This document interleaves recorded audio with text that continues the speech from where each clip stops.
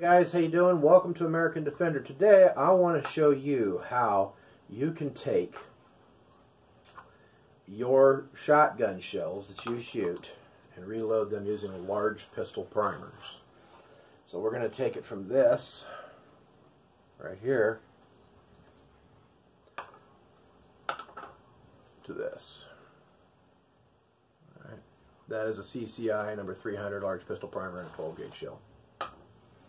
It's real easy to do. You don't need a press. You need a drill. You need a good pair of uh, fine nose, uh, needle nose, and something to bang with. I use a punch here. I don't know what size this punch is. I think it's a, I think it's 5 16ths. Doesn't matter. Even a little piece of like a uh, quarter inch pipe to tap down in there would work. You just need something to tap the, the primer in.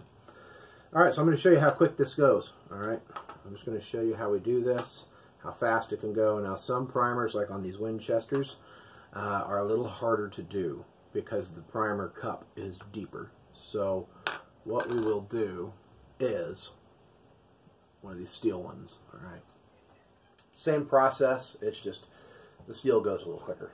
Alright, so what we've got here is a number 36 drill bit. Don't have to use 36, but that's what I have. Okay. And what I'm going to do is I'm going to drill dead center in the middle of this primer, just through the cup of the primer. There is a little anvil inside there, and you do not want to hit that. You're going to hit it. So if you do hit it, it's okay, but the second you feel this go through, stop. Okay. So here we go. We're just going to drill this out. Okay. Tap it out.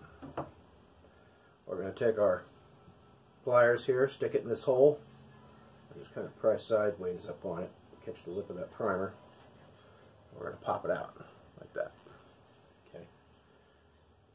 When we look down inside here, you'll see that other little anvil. That's the little piece right there that you don't want to damage too much. Your gun, chances are you probably will. Okay. Once we do that, simply take a large pistol primer and press it in. Lay it on a flat surface. I got my table here. Alright. So here's our primer.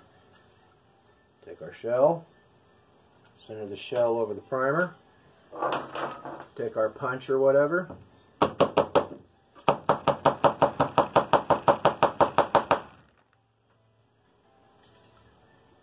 beat it flush, and you're done. That's all there is to it. So if you've got large pistol primers or if you've got shotguns you need to load or uh, anything like that, you can do this. Now if you have, if you happen to have a muzzle loader and you need to do this, I would suggest going and getting a few old plastic rolls and investing in a press because it's really going to help you. Because now what I can do with this, we'll take this shell for instance, right here. Say I need that primer for my muzzle loader. I do all the work on here, then I take this shell and I place it in my Lee load-all here, press it out,